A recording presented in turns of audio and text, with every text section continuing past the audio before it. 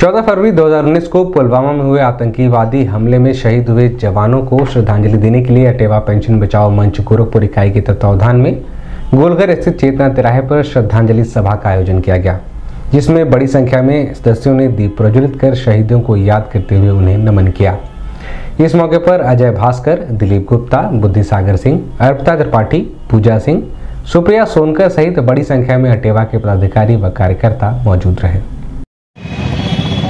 जिस धोती के कारण तुम अटेवा जैसे मंच से दूरी बना हमारे इधर के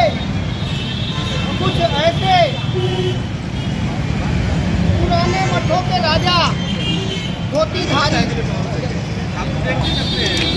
और पता नहीं उस धोती की चमक से हमें इतना भय क्यों लगता है?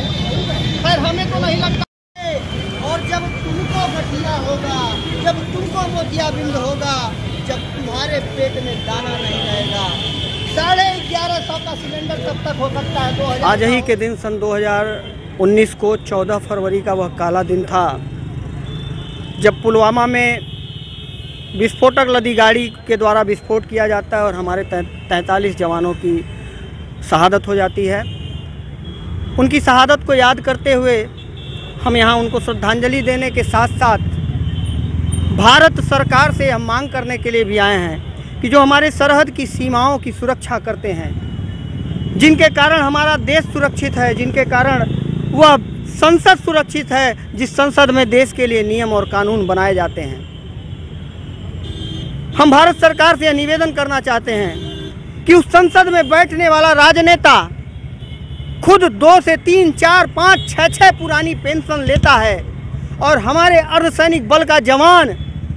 बाज़ार के भरोसे कर दिया जाता है। उसको जबरन एनपीएस नई पेंशन व्यवस्था से आच्छादित किया जाता है, जिसमें कहीं 500 कहीं 600 कहीं 700 कहीं 800 रुपए पेंशन मिलती है, जिसका भी भरोसा नहीं है। तो हम प्रधानमंत्री जी से मांग करते हैं कि अगर वास्तव में आप